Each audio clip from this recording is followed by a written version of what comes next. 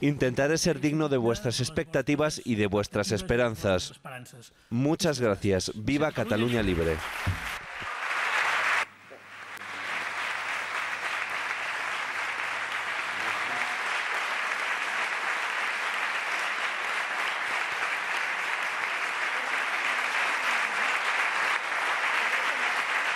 Tenemos más instrumentos que nunca para defender nuestra unidad. Las principales fuerzas políticas estamos de acuerdo en ello.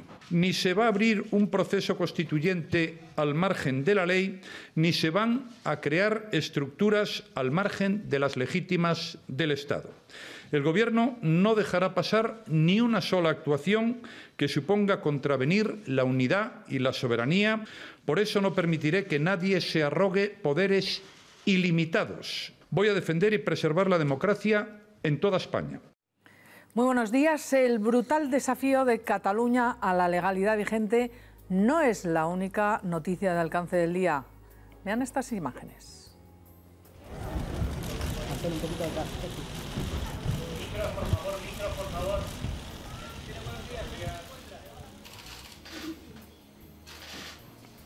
Ahí lo tienen, esta mañana la infanta Cristina se ha sentado en el banquillo como cooperadora del fraude de su marido Iñaki Urdangarín.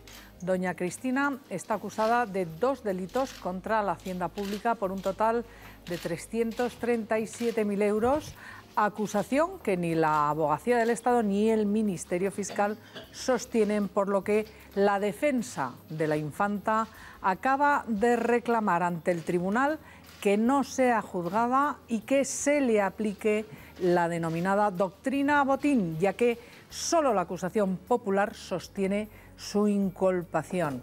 En fin, el instructor de la causa, el juez José Castro, ha dicho esta misma mañana que no contempla la posibilidad de que esa doctrina, la doctrina Botín, se aplique en este caso. Yo, desde mi óptica personal, no contemplo la posibilidad de que esta doctrina se pueda aplicar a este caso.